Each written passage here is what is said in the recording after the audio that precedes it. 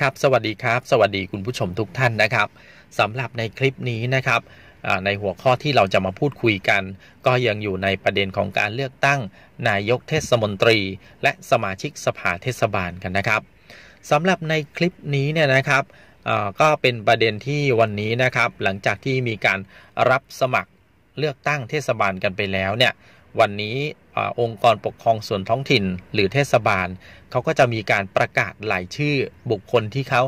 รับสมัครเป็นผู้สมัครรับเลือกตั้ง และบุคคลที่ไม่รับสมัครนะครับ วันนี้เนี่ยถ้าเขามีการประกาศรายชื่อผู้สมัครรับเลือกตั้งแล้วเนี่ยนะครับ ถ้าบุคคลใดเนี่ยนะครับเห็นว่าผู้ที่สมัครที่มีชื่อในประกาศรับสมัครของผู้อำนวยการการเลือกตั้งเนี่ย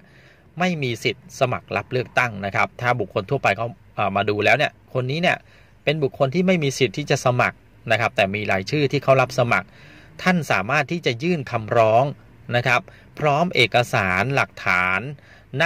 สำนักงงานคณะกรรมการการเลือกตั้งประจำจังหวัดที่จัดให้มีการเลือกตั้งนั้นได้นะครับ เพราะฉะนั้นเนี่ยถ้าบุคคลทั่วไปนะครับ พบเห็นว่าบุคคลที่มีรายชื่อเป็นผู้ที่ขาดคุณสมบัติ สามารถยื่นคำร้องนะครับ แต่ว่าการยื่นเนี่ย จะต้องไปยื่นยังสำนักงานคณะกรรมการการเลือกตั้งประจำจังหวัดนะครับ โดยในการยื่นคำร้องเนี่ยนะครับ ผู้ยื่นคำร้องคัดค้านเนี่ยอาจจะต้องปฏิบัติตามระเบียบในข้อ 105 ด้วยนะครับ ก็คือจะต้องทำเป็นหนังสือใช้ถ้อยคำสุภาพ มีรายการรายละเอียดต่างๆ ก็คือวันเดือนปีที่ทำคำร้อง ชื่อที่อยู่ของผู้ร้อง ข้อเท็จจริง หรือประเด็นที่ต้องการให้วินิจฉัย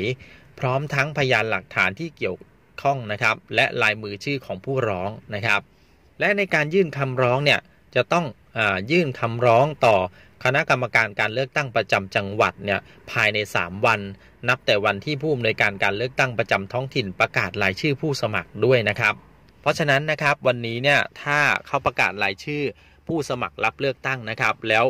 ท่านใดเนี่ยเห็นว่าผู้สมัครรับเลือกตั้งรายนั้น เป็นบุคคลที่ไม่มีสิทธิ์ที่จะสมัครรับเลือกตั้ง ก็สามารถยื่นคำร้องต่อกกตจังหวัดได้นะครับ แต่เน้นย้ำนะครับจะต้องรีบยื่นภายใน 3 วันนะครับ